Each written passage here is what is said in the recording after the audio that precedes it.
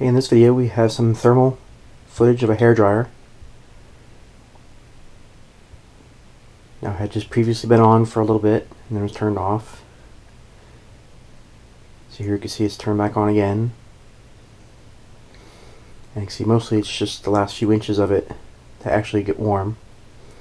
Here if you look on the inside you can actually see the temperature of the coil which at its core looks to be about 250 260 degrees and then the outside of it seems to be about 80 90 degrees.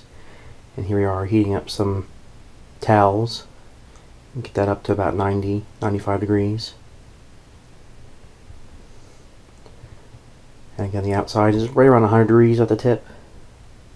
And you can see the heat kind of spreading. And again it's around and here there's a actual button that you can push on it. On this particular hair dryer that turns off the coils so you can see the temperature on the inside is starting to go down the outside still around 100 110 degrees. But then as you let it heat back up again then the interior starts going back up again and gets up into the 250 degree range. So this is what a hair dryer looks like using the Seek thermal imaging camera